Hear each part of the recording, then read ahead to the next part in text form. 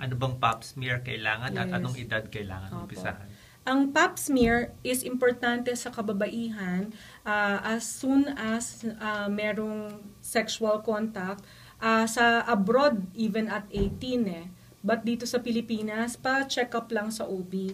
Pero pagdating ng ah, pap smear, it is our screening tool to check for cervical cancer and dapat natin pagawa ito every year. Pag iisa lang ang naging partner mo, kung for three consecutive years, eh normal ang pap smear mo lagi, even every three years pwede naman.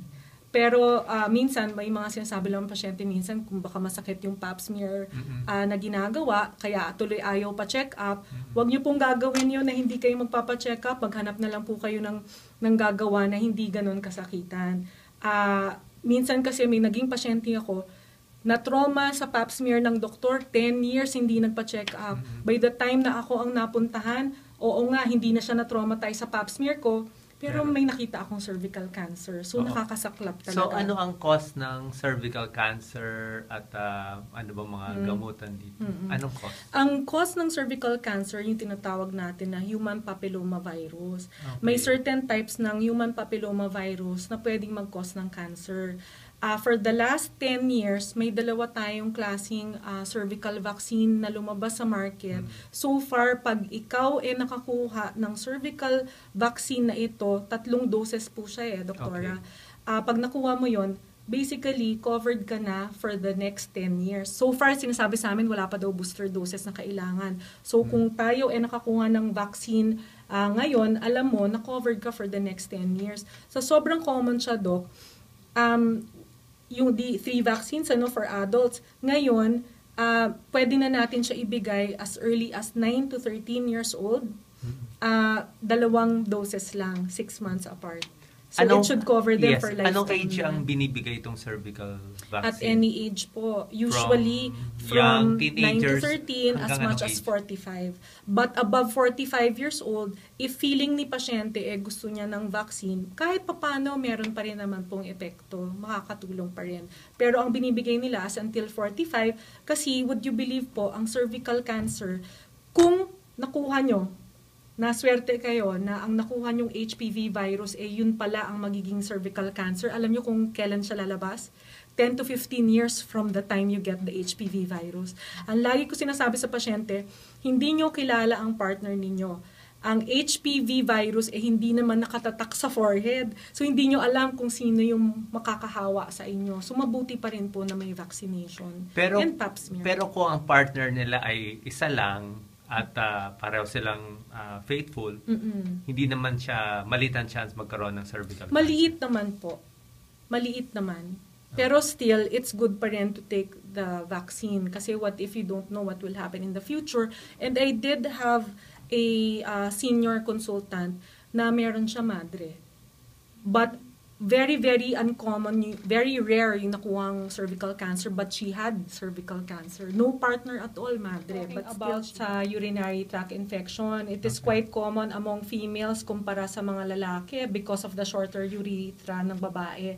Even doktora sa simple washing, ah, dapat ang pag-wash eh, tubig, Ah, wala naman tayong kinagigiliwan na feminine wash, pero kung yun naman ang favorite nyo, pwede naman. Pero dapat few drops lang mixed with water and that's what how you wash. Pero pag nagwiwi, kahit tubig lang, basta lang matanggal yung amoy or yung amoy ng wiwi and yung urea ama, ah, na contained dun sa wiwi and also dun sa pawis natin.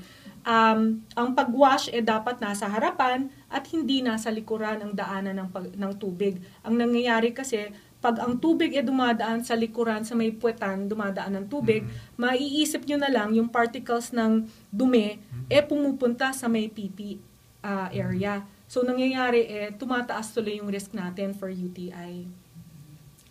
So, pag ganon, kung may nararamdaman, sumasakit ng pagwiwi, mahapde, or may dugo ang wiwi, or even yung sakit sa likuran, pwedeng kidney na yan, or minsan sa pusunan, uh, anytime you have to see your uh, OBGYN para matingnan at baka UTI na yan. Huwag na ninyong hintayin na maglagnat.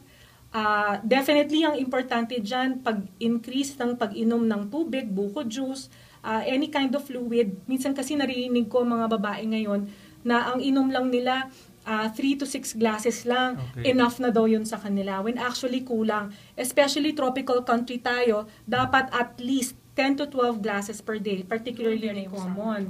Ah, pag sinabi niyong premenstrual syndrome, it would include dysmenorrhea, definitely pinaka number one yan. Iba naman sobrang emotional, ah, may mga Stress. depression, emotional stress, headaches, migraine, minsan kasama siya sa ah, premenstrual syndrome. Would you believe, marami din, bigla na lang grabe yung cravings kumain before mag-menses. Pero pagdating ng mens, yung pag sinasabing dysmenorrhea, hindi lang um, masakit ang puson ng day one eh. Minsan pag sinabi mong day one na dysmenorrhea, accepted pa namin siya as normal. Pero ngayon, yung iba nagde-dysmenorrhea two or three days or even a week before ah, magkaroon ng mens, nag- sumasakit na yung puson. Ano ang cause ng itong dysmenorrhea, masakit ang puson? Ano ba nangyayari sa matres? Um, pain, doctor minsan kasi part and parcel din ng hormonal imbalance. Or Okay. minsan ang napapansin ko, maling pagkain. Minsan diet na mataas ng salt and sugar, ang Okay. tendency madaling magiging bloated ang pasyente kasi mag- malakas ang absorption ng tubig sa katawan, nabobloated siya. So by the time na magme-mens siya, sobrang um, ah, sobrang nagpe-pain na. So by the time magme-mens siya or malapit na mag-mens, biglang sobrang So, pag malapit na Dr. Kate magme-mens ang sa babae, lumalaki yung matres.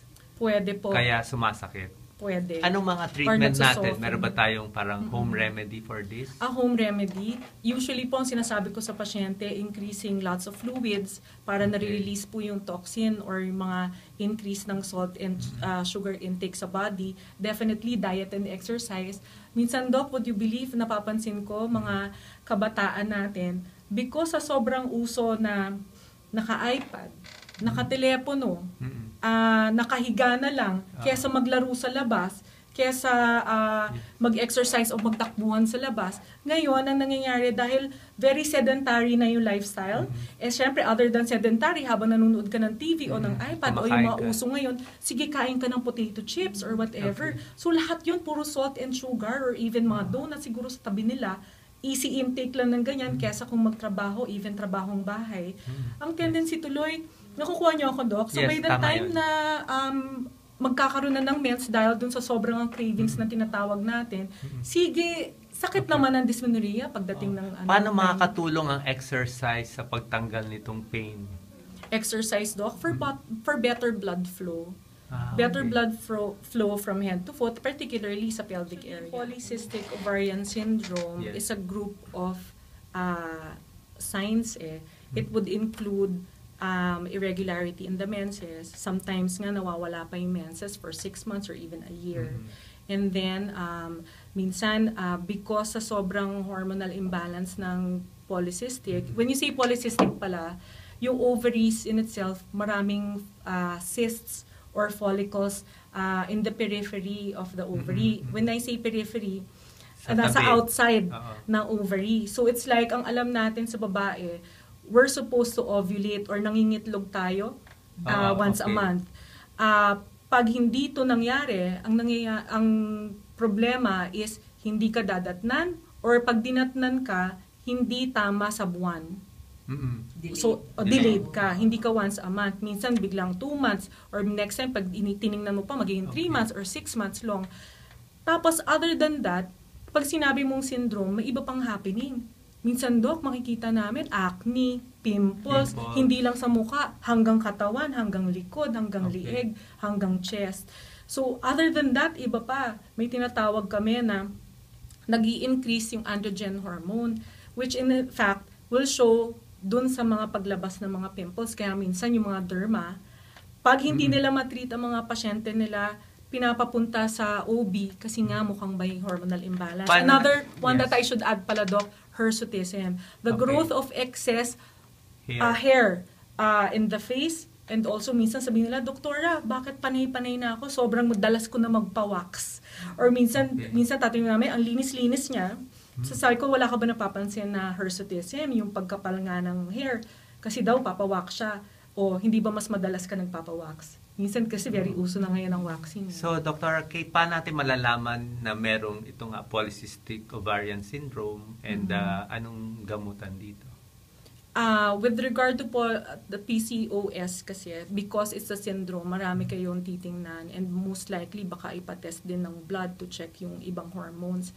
Um, but kung kunyari, kung simple lang na gagawin, Oo. Ultrasound. ultrasound. Doon kita mo na talaga yung mga ano, pag greater than 12 uh, immature follicles ang nakita, polycystic na yan. Anong gamutan? Ang gamutan usually, ang tanong namin, Doc, kunyari, let's say management, ang tanungan namin, gusto ba magbuntis o hindi? Mhm. Usually, pag hindi, mga teenager or early 20s, wala pang balak, then we usually give the pill, the contraceptive pill. Iba minsan ang thinking ng tao pag nabigyan ng pill, ay, may nangyayari sa kanila or whatever. Or minsan kailangan namin kausapin talaga yung parents na ito yung best way and le- least cost kaya kami nagbibigay lang ng contraceptive pill. Kasi nga, as I said kanina, nare-regulate yung hormonal content kasi mabababa lang yung hormonal content ng pill compared sa normal na katawan. Pag gusto naman ni pasyente na magbuntis, nagbibigay kami doc ng ovulatory medicine. Tapos Like sinat ah, clomiphene citrate. Um, and then there's another medicine, but most often than not, mga infertility doctor may mga bagong binibigay bago ngayon. And then we give na ah, progesterone para maayos niya yung menses niya na alam mo, pag nangitlog, bandang middle of the cycle, magpapa-ultrasound kami. Uy, nangingitlog. Tapos sasabihin tuloy namin ng mga pasyente kung pwede na silang mag-contact or hindi pa. Pag positive ang pregnancy test, minsan nga, three months bago maggusto magbuntis, ang gusto na gusto namin binibigay is folic acid. 5 milligrams capsule once a day. Ah, ang alam natin sa folic acid, ang gusto natin dyan is maganda yung cells ni baby habang lumalaki. Ah, better and healthier yung baby. And during the first three months na pagbubuntis, ah, yun yung pinaka gusto natin na ma-absorb ng maayos ang folic acid. Kasi if you remember, yung mga cleft lip, cleft palate, very common. Ah, ang alam ng natin is ah, ang health natin or ang food is kulang ng folic acid. So kung marami kang nakikita mga bingot Yes. na tawa, tinatawag natin, it's dahil dun sa mababang folic acid sa dieta. How about multivitamins or iron? Hindi pa. Ah, ang iron doc binibigay namin ah, pag 3 months na and up. Multivitamins as early din. Minsan 7 weeks up. Mm. How about yung mga vaccines? Ano yung mga essential vaccines ng buntis? Vaccines, tetanus toxoid, ah, binibigay. Ah, ako binibigay ko siya 5 months. Ah, tatlo yun. Ah, two vaccines, uh, two tetanus toxoid, 5 months and 6 months. Ah, and then a booster dose is taken, ah, is given on the 6 month from the first dose. Ah, flu vaccine, minsan binibigay namin on the third month, pero depende kung ano ang nangyari sa pasyente. Kung kunyari 4 months pa lang na nadapa o nasugatan o nakagat ng aso, most likely yung tetanus toxoid magiging mas maaga ibibigay other than rabies shot, anti-rabies shot. Ano ang Ah, basic those are ano ang basic check-up sa mga buntis? Meron bang ah, blood sugar, blood pressure, Ah. urinalysis? Ano yung basic and at what month? uh, on the first month, uh, ang ang basic is uh, I don't usually do much yet on the first month. Pag first three months, pag nakita ko na may heartbeat yung baby at mukhang maganda ang uh, kahinat na ng pregnancy, nagpapagawa na ako ng CBC, urinalysis, uh, Hepa B check, Ah, ngayon, ang allowed, ang sinasabihan kami ng POGS is to do HIV testing also. Yung sugar, ah, and also syphilis check.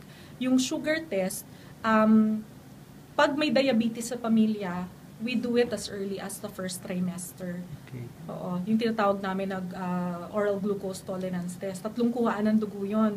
Tapos may fasting pa. Ayaw ko gawin yon in the first trimester, lalo na kung sobrang nagsusuka yung nanay. Tusuka rin niya yung gamot eh, yung ipapainom bago dun sa test. Usually, ginagawa namin siya between 6 to 7 months kung time na hindi na nasusuka yung pasyente.